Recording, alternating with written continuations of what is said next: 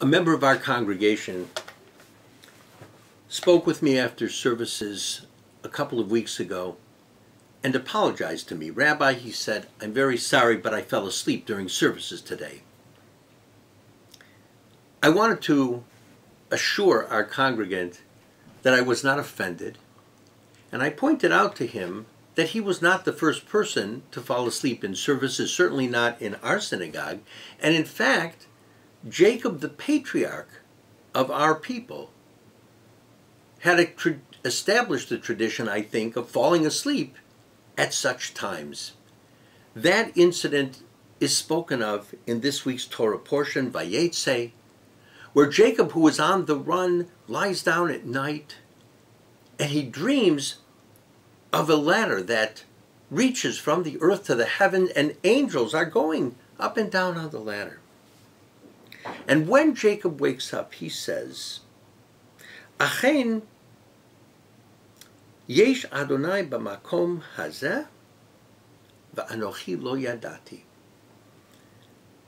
Behold, he says, God is in this place, and I never knew it.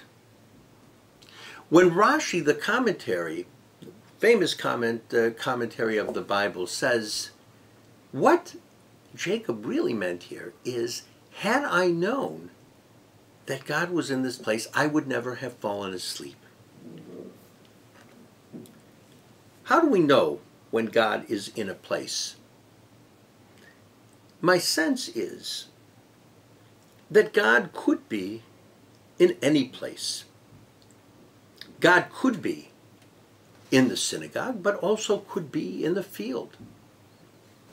How do we know where God is? God is not only in synagogue sanctuaries. God could be anywhere. We bring God to that place. That place could be in the middle of a forest, in a beautiful desert, in our homes, in our synagogues. It seems to me that what Jacob learned is a lesson that all of us could learn. We have the ability to bring God to the places where we worship, to the places where we need God and God's presence. When we gather for synagogue in our synagogue for prayer,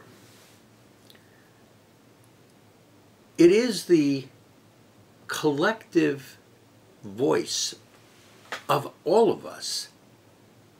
It is the collective intent of all of us. It is the fact that we all come to say words that are steeped in Jewish history.